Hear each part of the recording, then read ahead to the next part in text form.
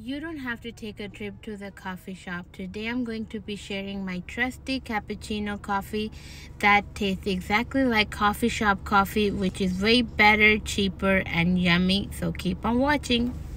Happy New Year, everyone. So let's get started. Hi everyone, welcome back to my channel. This is Michelle and today we are going to be making homemade cappuccino just like the coffee shop style. We need one tablespoon of sugar, one teaspoon of coffee, which is instant coffee, and one cup of warm milk. I will also need one tablespoon of hot water. So let's start the preparation. Now let's start making the coffee.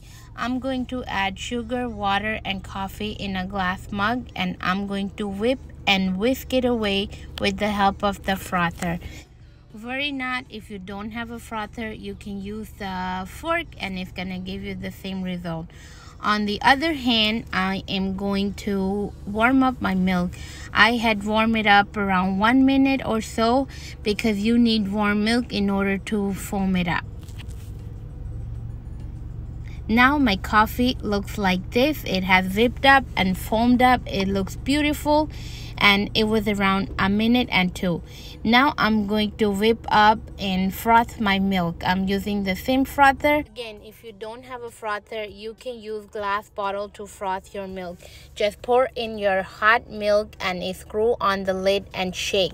It will produce the beautiful foam that normally frother produce. This is just my DIY tip.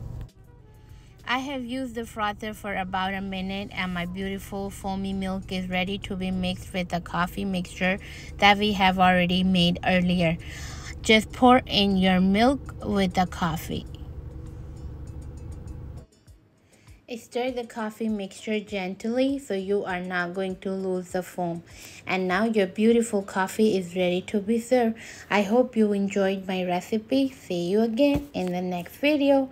Bye. Take care. Bon appetit.